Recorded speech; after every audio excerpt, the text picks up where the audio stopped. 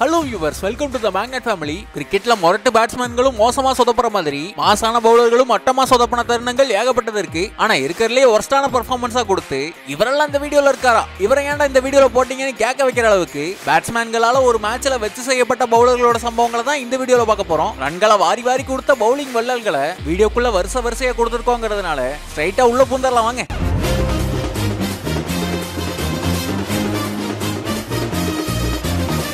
குறுகிய கால cricket career இந்திய டீம்ல கழிச்சிருந்தாலும் மறக்க முடியாத பவுலரா இருந்து மொரட்டு வேலையை பார்த்து விட்டு போனவர் தான் வினய்குமார். இந்தியன் கிரிக்கெட் டீம்ல ரெண்டாயிரத்தி பத்து காலகட்டத்தில இருந்து ஆடிட்டு இருந்த மனுஷன். ஒரு பங்கமான பவுலரா ஒரு ஞாபகம் வச்சுக்கிற மேட்ச் ரெண்டாயிரத்தி பதிமூணுல இந்தியாவுக்கும் ஆஸ்திரேலியாவுக்கும் நடந்த ஓடியில கொடுத்திருப்பாரு. சரியா அந்த மேட்ச்ல தான் இவர் பவுலிங்ல பயங்கரமா சொதப்பினாரு. அந்த மேட்ச்ல மொத்தமா ஒன்பது ஓவர் போட்ட மனுஷன். நூத்தி ரெண்டு ரன்களை ஆஸ்திரேலியன் டீமுக்கு அள்ளி அள்ளி வீசியிருப்பாரு.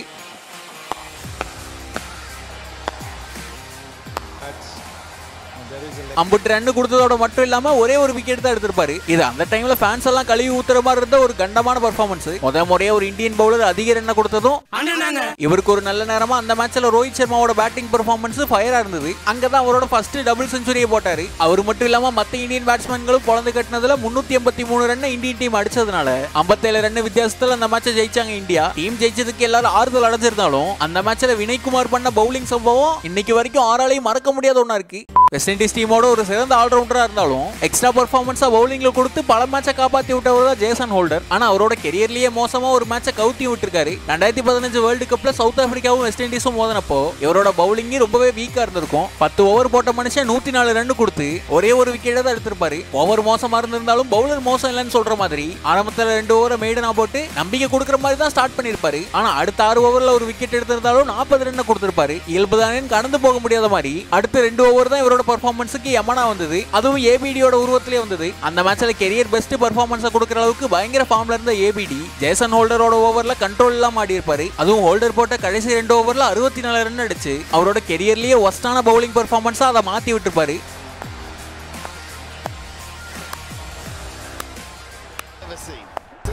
எப்படி போட்டாலும் அடிக்கிறான்டா. இந்த மேட்ச்ல சவுத் ஆப்பிரிக்கன் டீம் நானூத்தி எட்டு ரன் அடிச்சதுக்கும் வெஸ்ட் இண்டீஸ் டீம் இருநூத்தி ஐம்பத்தி ஏழு ரன் வித்தியாசத்தில் தோத்ததுக்கும் ஏபிடியோட பேட்டிங் பர்ஃபார்மன்ஸும் ஹோல்டரோட பவுலிங் பர்ஃபார்மன்ஸும் ஒரு பெரிய காரணம். ஐம்பது ஓவர் ஓடிஐ இருபது ஓவர்ல டி டுவெண்ட்டில இருக்கு இந்த காலம் இல்லாம.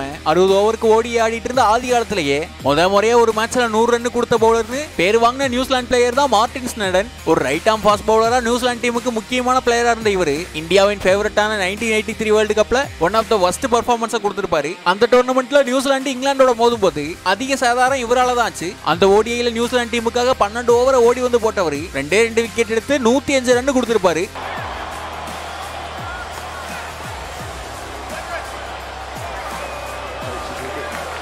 கிரிக்கெட் வரலாற்றிலேயே முதல் முறையா பவுலர் செஞ்சுரி போட்டது இந்த மேட்ச்ல தான். அது வரைக்கும் எந்த பவுலரும் அவ்வளவு ரன் கொடுத்தது இல்ல அந்த மேட்ச்ல நியூசிலாந்து டீம் தோத்ததுக்கு இவரோட ஹிஸ்டாரிக்கலான பர்ஃபார்மன்ஸ் முக்கிய காரணமா இருந்திருக்கும்.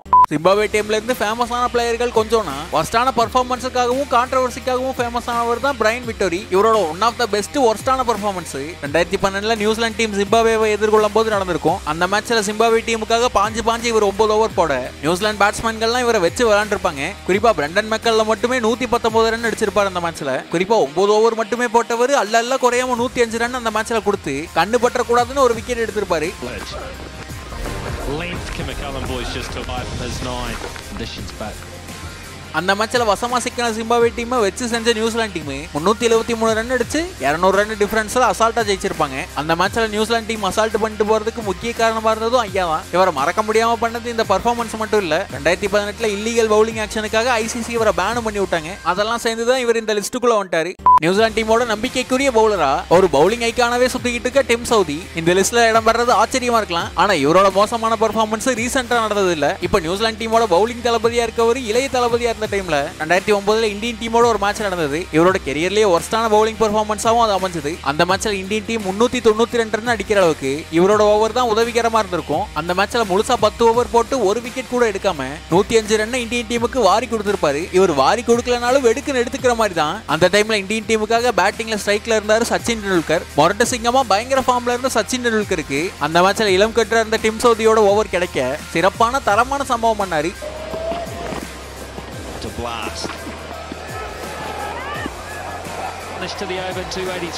நூத்தி முப்பத்தி மூணு பாலுக்கே நூத்தி அறுபத்தி மூணு ரன் அடிச்சு. ரிட்டையர்ட் பேட்ஸ்மேனா வெளியே போனாரு. இந்தியன் பேட்டிங் சைடு அன்னைக்கு ஹெவியா இருந்தது தான் இவரோட ஒர்ஸ்ட் பெர்ஃபார்மன்ஸுக்கு ஒரு முக்கிய காரணமே. அந்த மேட்ச்லயும் அப்கோர்ஸ் இந்தியன் டீம் தான் ஜெயிச்சாங்க. இன்னைக்கு ஏகப்பட்ட லெஜெண்டரியான ரெக்கார்டுகளை வச்சுட்டு இருக்க டிம் சோதிக்கு சோதனையா ஆரம்ப காலத்திலேயே அமைஞ்ச கெரியரோட கருப்பு புள்ளி மேட்ச் அது.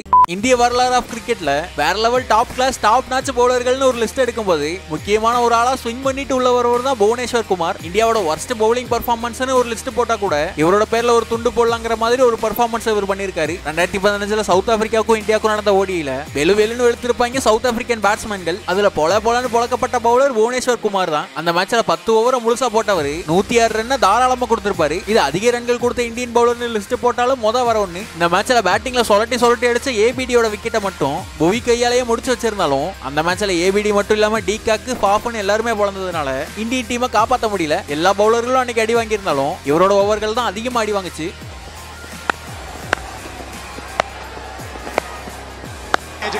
குறிப்பா பத்து ஓவர்ல பன்னெண்டு போர் ஆறு சிக்ஸர் கொடுத்ததோட எண்பத்தி நாலு ரன்களை பவுண்டரி மூலமாவே கொடுத்ததுனால தான் டாப் கிளாஸ் பவுலரோட ஒன் ஆஃப் த வீக்கான பர்ஃபார்மன்ஸா இருக்குது. லிஸ்ட்லயும் ஒரு பேர் இருக்குது.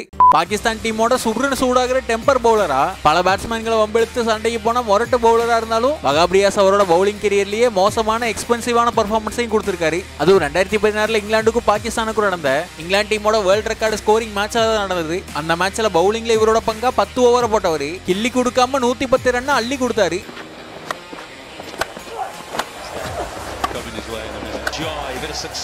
அதுல 72 ரெண்டு ரன் பவுண்டரிலேயே போற அளவுக்கு மிகப்பெரிய லக்கா அமைஞ்சாரு இங்கிலாந்து பேட்ஸ்மேன்களுக்கு அதுவும் இன்னைக்கு ஹை ஸ்கோர் பண்ணிடணும்னு முடிவில் வந்த மாதிரி இங்கிலாந்தோட முக்கியமான பேட்ஸ்மேன்கள்லாம் 50 போட்டிருப்பாங்க. ஹைலைட்டா அலெக்ஸ் சேல்ஸ் மட்டும் நூத்தி எழுபத்தோரு ரன் அடிச்சிருப்பாரு. இது வரைக்கும் ஒரு ஓடி மேட்ச்ல அதிக ஸ்கோர் அடிச்சதுக்கான ரெக்கார்டை இங்கிலாந்து டீம் வச்சிருக்காங்கன்னா அவங்கள டாப் பொசிஷன்ல உட்கார வச்சதுல முக்கியமான ஒன்று தான் இந்த மேட்ச் இவர் வேர்ல்டு கிளாஸ் ஃபாஸ்ட் பவுலருங்கிறது மறுக்க முடியாத உண்மைங்கிற மாதிரி அந்த மேட்ச்ல மொரட்டடி வாங்கினாருங்கிறது அவராலேயே மறக்க முடியாத உண்மை. ஆப்கானிஸ்தான் டீம்னாலே இவர் தான் இவர்னால தான் ஆப்கானிஸ்தான் டீமுங்கிற மாதிரி. அந்த டீமோட பிராண்டாவும் பவுலிங்ல பயங்கர பலமாவும் இருக்கவர் தான் ரஷித் கான். கிரிக்கெட்டோட சிறந்த ஸ்பின் பவுலர்களோட லிஸ்ட்ல சிபாரிசு இல்லாம இடம் பிடிக்கிற இவர். ஒர்ஸ்டான ஒரு பெர்ஃபார்மன்ஸால இந்த வீடியோல இடம் பிடிச்சிருக்காரு. அதுவும் ரெண்டாயிரத்தி பத்தொன்பதுல வேர்ல்டு கப்ல நடந்தது தான் ஹைலைட் அப்ப ஆப்கானிஸ்தானுக்கும் இங்கிலாந்துக்கும் நடந்த மேட்ச்ல இவர் போட்ட ஒன்பது ஓவர்ல நூத்தி பத்து ரன் கொடுத்ததோட எந்த ஒரு விக்கெட்டையும் எடுக்கலங்கிறது மட்டும் இல்லாம பதினோரு சிக்ஸர்களை பறக்க விடுற அளவுக்கு பவுலிங் போட்டிருப்பாரு.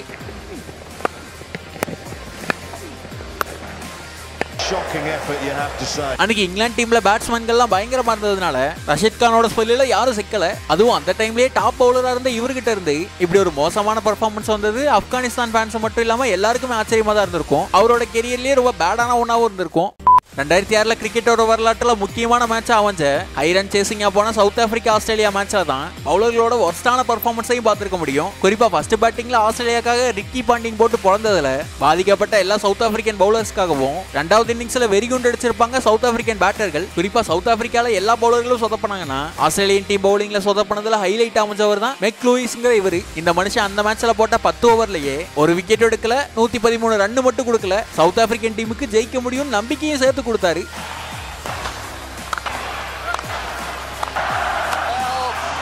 நானூத்தி முப்பத்தஞ்சு ரன்னு அசைக்க முடியாத மாதிரி ஆஸ்திரேலியா வச்சுட்டு போனதை. சவுத் ஆப்பிரிக்கன் டீம் பேட்டிங்ல சேஸ் பண்ணி பிடிக்கிறதுக்கு ஆஸ்திரேலியன் டீம்ல பவுலரா இருந்து உதவி பண்ண மாதிரி இருந்திருக்கும் இவரோட பர்ஃபார்மன்ஸ் வரலாற்று மேட்ச்ல ஒரு மிகப்பெரிய பிழையா ஒரு ஹிஸ்டாரிக்கல் மிஸ்டேக்காவே இருந்திருக்கும். அவர் போட்ட ஓவர் மட்டும்.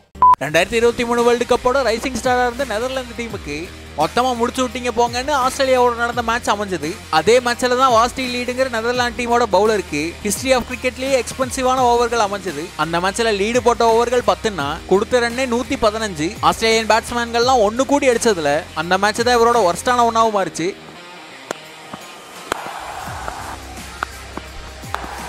முக்கியமாக ரெண்டாவது பேட்டிங் பிடிச்ச நெதர்லாந்து டீமை தொண்ணூறு ரன்லேயே முடிச்சு விட்டுருப்பாங்க ஆஸ்திரேலியன் பவுலர்கள் அவ்வளவுதான் நம்மள முடிச்சு விட்டீங்க போங்க அந்த ஒட்டுமொத்த டீம் அடிச்ச ரன்னே இவர் கொடுத்த ரன்னை விட ரொம்ப கம்மிங்கிறது தான் குறிப்பிடத்தக்கது.